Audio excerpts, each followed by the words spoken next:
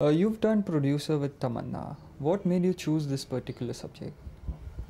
See, Tamanna was basically a gift that was given to me on my 21st birthday by my father, where he told me, he said, if I can give you a script after daddy, you know, it is Tamanna. So when I read the script, I loved it. I mean, the actress in me just jumped at it. But when I decided to start my production company, I wanted to do so with a film that is very relevant. And Tamanna is an extremely re- relevant script.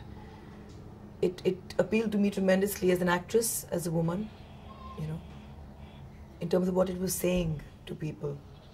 So I decided to start my production company with something that would make a difference, you know, a film that would somewhere matter and change a lot of people's lives. What is the theme of Tamanna? Tamanna is basically based on a true story. It the central character of Tamanna, a eunuch called Tiku, is somebody who my father's seen down the years, grown up with him actually. And uh, Tiku, one night during the holy month of Ramzan, on his way home from work, found a mutilated female child in a dustbin and brought her up selflessly, you know, because for him she was the only thing that he had. And we've taken up from there where the girl grows up and discovers that obviously she's not his daughter, he's a eunuch. So, who are my parents? And goes on this search to find her parents and to discover where she's come from, what her roots are. And when she finds her family, they're a very rich, well to do, affluent, fundamentalist family. She asks them a question as to why, you know, why did you want to kill me? Was it because I was an illegitimate child or what was the reason? And they say, no, because you were a female child. And we did not want a female child. For the last hundred years, we've only had male children in this family. So we can't uh, probably have the stigma of a female child in our family. And that is something she cannot understand because she's like, you're talking about a nation that talks about respecting women and worshipping Sita and Savitri and Durga and Kalima, and you want to kill women in your backyard. And how she gets back at him. Uh, Pooja, is film production a tough task? How do you find it? It is tough. It is uh, very different from being in front of the camera and having everyone, you know, move around you, and you are the center of everyone's universe when you are a star. But when you're produ- when you're producing, then you're on the other end, and you are at the giving end. You know, you're not at the receiving end. So it, it is difficult. You got every little decision has got to be made by you, and you got to you know see so many things. But it's been a very educating experience for me because I've learned so much more about myself, about the business, about the film industry. Things that I never even knew existed, I have to tackle now, you know. So it's made me a much more practical, a much more independent, and a much more, uh, a stronger person, definitely. Why I, it, it's made me grow up a lot. Why did you go into film production? See, for me, it, it would have been the, the easiest or the most natural step to take because I come from a film family, you know. And whenever I was acting in any of my movies for my uncle, it was on, not only that I was coming onto a set and saying, what is my scene and what is my costume and whatever. I was always involved in every stage of the film. So it, it interested me. And I wanted to start a production company because I wanted to kind of make the kind of films that I really want to see. I wanted to work with a lot of young people, a lot of new talent, because I feel that someone has got to do that to change things, you know. And also because, quite honestly, the business does not treat women over a certain age very well if you're an actress. You know, when you're 30 year old dancing around a tree and there's a 16 year old, you're going to be replaced. So I don't intend acting for more than about four years. So for me, production, I mean, I love films. I cannot ever do any work that's going to be out of movies. So I would want to continue a career in films and making movies, and this is the most natural thing that I could do. Uh, looking at Tamanna again, you focused on this issue of uh, female infanticide. Yeah.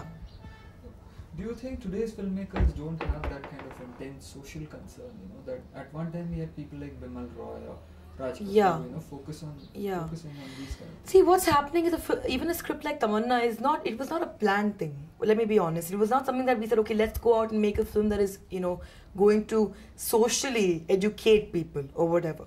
It is a film that just came into our lives because it is a true story. We happen to know the character.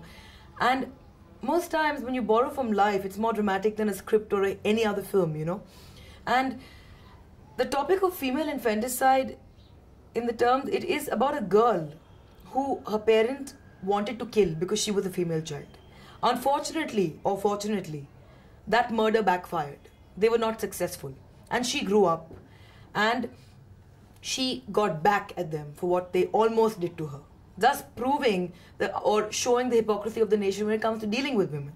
But what I am trying to say through Tamanna is more than that. Is that even if a female child lives, it could be me, it could be any other girl, you know, whether a slum dweller's daughter, it could be me, it could be a, a minister's daughter. Even if you're in a family where they don't feel it's wrong to have a female child, and you grow up, women today in society, in India especially, are constantly, their spirit is being killed every step they take. So it's not the fact that you somebody put sand in your throat or you've been, you know, your pregnancy has been terminated if you are a female child. Women today are constantly made to feel that they are a burden. You know, men unfortunately make you feel that. And what Tamanna is saying, in fact, there's a, there's a point in the film, a song called Ut Meri Jaan, which is written by Kaifi Azmi. That is a very relevant song.